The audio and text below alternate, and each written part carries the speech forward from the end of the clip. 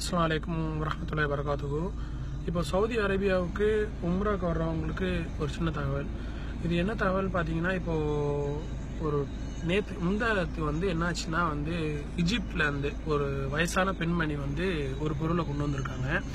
அந்த பொருளை வந்து செக் பண்ணையில் பார்த்தீங்கன்னா கடைசியில் ப்ரௌன் சுகராக இருந்திருக்கு. மாத்திரைன்னு சொல்லிட்டு கையில் கொடுத்துருக்காங்க. ஏதோ அரபிக் கறந்த போல. மாத்திரைன்னு சொல்லிட்டு கையில் கொடுத்துருக்காங்க. அதையும் நம்பி அவங்க வாங்கிட்டு வந்துட்டாங்க. கடைசியில் ஏர்போர்ட்டில் வச்சு அவங்கள அரெஸ்ட் பண்ணிட்டாங்க. இப்போ நம்ம மக்களுக்கு நம்ம என்ன சொல்ல வேண்டிய கடமை இருக்குன்னா இப்போ நம்ம மக்கள் வந்து கறி மசாலா மீன் மசாலான்னு பல பொருட்கள் கொண்டு வர்றாங்க. பிரச்சனை இல்லை. இப்போ வந்து சவுதி அரேபியாவில் வந்து அந்த வெள்ளை கசகசா வந்து முற்றிலும் தடை பண்ணியிருக்காங்க வெள்ளை கசகசா எதுக்கு தடை பண்ணியிருக்காங்கன்னா வெள்ளை கசகசாவில் வந்து போதைப் பொருட்களோட தன்மை அதில் இருக்குது வெள்ளை கசகசாவில் இருக்குன்னு சொல்லிட்டு தடை பண்ணியிருக்காங்க அந்த பொருளை ஒருத்தவங்க அத்திமீறி ஒருத்தவங்க கொண்டு வந்தாங்கன்னா அவங்கள தலை வெட்டுற சட்டம் சவுதி அரேபியாவில் இன்னும் நடைமுறையில் இருந்துகிட்டு இருக்கு. அதுக்கு அறிவிப்பு செஞ்சு பெரிய அளவில் சொல்லிட்டாங்க. அது வந்து பல மக்களுக்கு தெரியும். இன்னும் சில மக்களுக்கு வந்து அதில் விழிப்புணர்வு இல்லாமல் இருக்காங்க. எந்த ஒரு பொருளை கொண்டு வர இருந்தாலும் அதில் வந்து நிறைய கவனம் செலுத்திக்கிறங்க. இப்போ இந்தியாவை பொறுத்த அளவுக்கு இப்போ ஒருத்தவங்க உடம்பு முடியலை அவங்களுக்கு மா- மாத்திரைகள் மருந்தை தர்றாங்கன்னு சொல்லிட்டு அந்த நம்பிக்கை அடிப்படையில் வாங்கிட்டு வர்றாங்க. அதுலேயும் என்ன ஒரு டிராபேக்னு சொல்லி பார்த்தீங்கன்னா இந்தியாவில் விற்கப்படுற மெடிசின்கள் பெரும்பாலும் வந்து பார்த்தீங்கன்னா தரம் இல்லாத தரம் கெட்ட தன்மையில் நிறைய மருந்துகள் வந்து பிளாக் மார்க்கெட்டில் வந்து சேல்ஸ் பண்ணிக்கிட்டு இருக்காங்க. அது எப்படின்னு சொல்லி பார்த்தீங்கன்னா மற்ற கண்ட்ரியில் ஃபுல்லாக it's not good for health it's not cure இது வந்து கியூர் பண்ணாது உடம்புக்கு.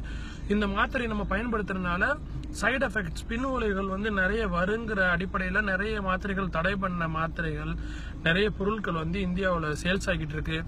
நம்ம நல்ல மாத்திரை இது உடம்புக்கு வந்து ஆரோக்கியத்தை தரு உடம்பு நோயை குணப்படுத்துங்கிற நம்ம நினைச்சு சாப்பிட்ற மாத்திரைகள் வந்து என்ன ஆகுதுன்னா சவுதி கொண்டு வந்து அவங்க கெமிக்கல் லேப்ல வந்து அவங்க செக் பண்ணி பார்க்கையில அது வந்து சில போதைகளாகவும் சில கேடுகட்ட மருந்துகளாகவும் பக்க விளைவுகளை ஏற்படுத்தக்கூடிய மருந்துகளாகவும் விஷத்தன்மை உள்ளதாகவும் அவங்க கண்டு அறிஞ்சு அதை வந்து வேற கோணத்துல வந்து இது கொண்டு வர்றாங்க கடத்துக்கு கொண்டு வர்றாங்கிற அடிப்படையில் பார்க்குறாங்க அதனால மற்றவங்கள்ட்ட யார்கிட்டையும் தெரிஞ்சவங்க தெரியாதவங்கள்ட்ட மாத்திரைகள் வாங்கிட்டு வரையில ரொம்ப அதில் கவனம் செலுத்துங்க.